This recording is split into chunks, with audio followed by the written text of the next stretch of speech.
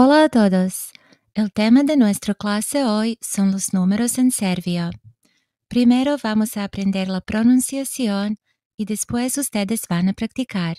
Así que quédate hasta el final del video. Vamos a empezar. Los números 1 y 2 son específicos porque pueden cambiar de género. 1 jedan es de género masculino. Jedan. Una jedna es de género femenino. Jedna. En serbio tenemos tres géneros, por eso tenemos uno en neutro. Jedno. Jedno. Dva. El número dos en serbio también tiene género. La forma masculina es dva. Dva. La forma femenina es dve. Dve. La forma neutra es como la forma masculina. Dva. Dva. A partir de allí, tres cuatros no tiene géneros. Seguimos. Tri, tres. Tri. Četiri, cuatro, četiri. Pet, cinco, pet. Šest, seis, šest. Sedam, siete, sedam. Osam, ocho, osam. Devet, nueve, devet. Deset, diez, deset. Vamos a repasar. Jedan, dva, tri, četiri, pet, šest, sedam, osam, devet, deset. Ahora es tu turno de decir los números. Si no te acuerdas, puedes volver al inicio del video y verlo de nuevo. ¿Qué número es este? Jedan. ¿Y qué número es este? Dva. ¿Y este? Tri. Četiri. Pet. Šest. Sedam. Osam. Devet. Deset. Lo han logrado. Muy bien. Ahora vamos a aprender a contar de 10 al 20. Para contar de 10 en adelante, vamos a usar los números de 1 a 10 y le añadimos la desinencia naest. Jedanaest. Once. Jedanaest. Dvanaest. Doce. Dvanaest. Trinaest. Trese. Trinaest. Četrnaest. Catorce. Četrnaest. Petnaest. Quince. Petnaest. Šestnaest. Dieciséis. Šestnaest.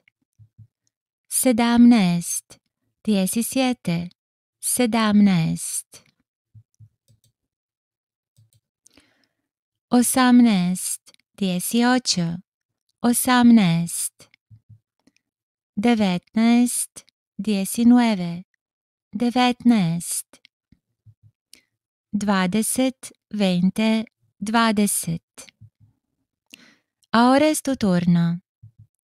¿Qué número es este? Jedanest. Ke numero eseste?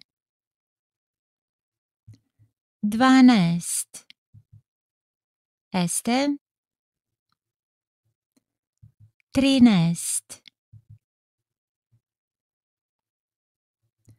14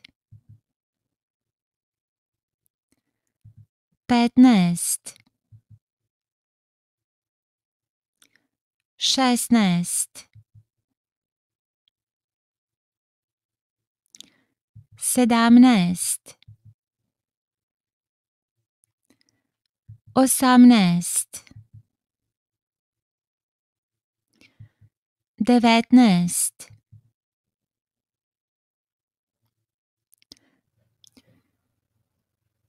dvadeset, veinte, dvadeset, muy bien.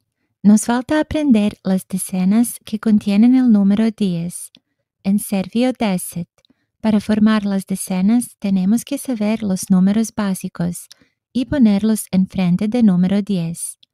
20, 20, 20, 30, 30, 30.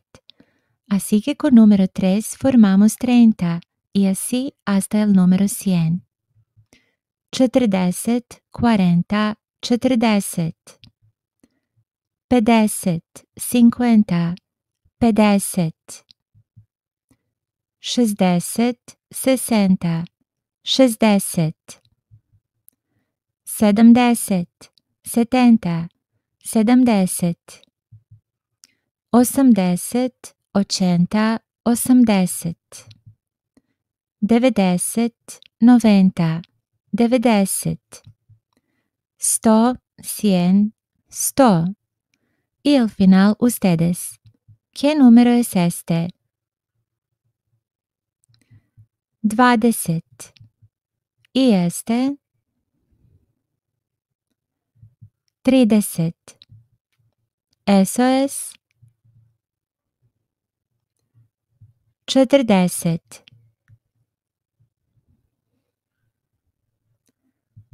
Pedeset, šestdeset, sedemdeset,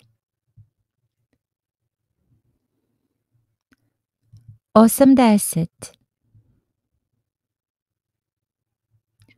devedeset, sto. Perfecto. Ya saben contar en serbio. Espero que les haya gustado esta clase.